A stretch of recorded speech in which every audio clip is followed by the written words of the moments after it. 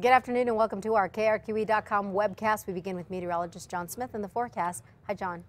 Hi, Elizabeth. We will be looking for big changes over the next couple of days as we'll deal with quite a bit of wind as our next storm system will be moving toward the state out ahead of it. That wind will be ramping up to around 50 to 60 miles per hour at a gust. That will lead to a higher fire danger throughout this afternoon and it will also lead to quite a bit of blowing dust. So visibility will be reduced in some locations throughout the afternoon. So watch out for that. As the storm crosses the state, through tonight and tomorrow, we'll start to see precip chances in the form of rain across much of the state, but we will pick up a little bit of snow over the northern mountains as we usher in some colder air as well. We'll hold on to a few of these snow showers on Wednesday before things start to clear out and warm back up toward the end of the week.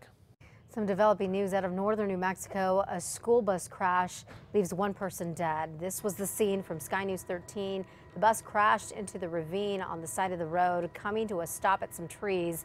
The Rio Arriba County Sheriff's Department tells us that the bus was from the Mesa Vista School District. It was headed for the Ojo Caliente Elementary School at the time.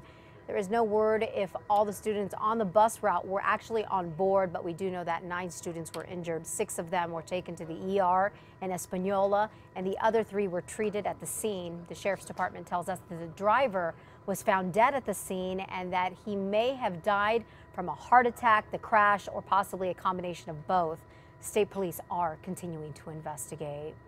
A teenager is behind bars for a horrific crash that killed two other teens over the weekend. Police say a total of eight people were crammed in an Infiniti when it flipped on I-25 near Las Vegas. All eight were thrown from the vehicle, killing Kayla Martinez and Alejandra Sanchez, just 14 and 12 years old. Two other teens were still in the hospital. The driver, 17-year-old Wayne Lovato, is behind bars at the Juvenile Detention Center. Police say he was driving drunk. His friends who survived are speaking out.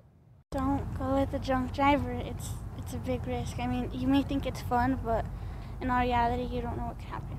Nobody wanted this to happen. They were both and both two amazing girls.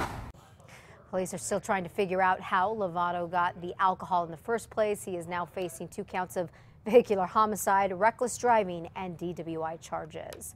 Stay with KRQE for more news and weather updates throughout the day.